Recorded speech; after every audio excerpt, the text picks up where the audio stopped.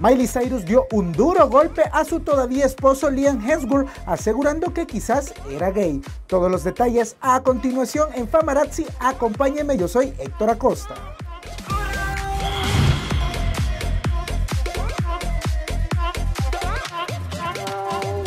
José Joel, el hijo mayor de José José, asegura de que es muy posible de que exista un testamento que el príncipe de la canción firmó hace unos 15 años. José Joel dijo que él siempre le decía a su papá que hiciera un testamento con el fin de evitar problemas por desacuerdos entre sus herederos.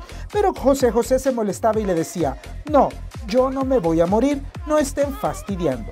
El primogénito del cantante dijo que dicho documento se está buscando y que su padre se decidió a realizarlo con un amigo suyo que era abogado, pero que al poco tiempo murió, por lo que se espera que muy pronto sea localizado. Asegura que su hermana Sarita y su madre también lo están buscando. Y Snoop Dogg estuvo hace poco de cumpleaños y no van a creer lo que recibió.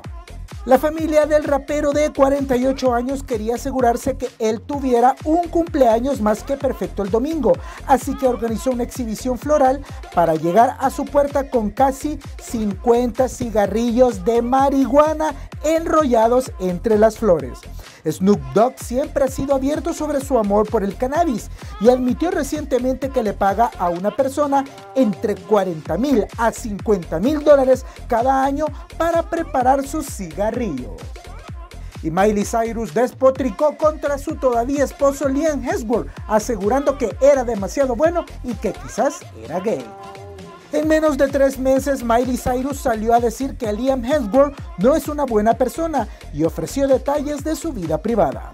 Pensé que era gay, ya que todos los hombres me parecían malos hasta que llegó Cody. Así que chicas, no se rindan, hay buenos chicos por ahí, solo hay que encontrarlos.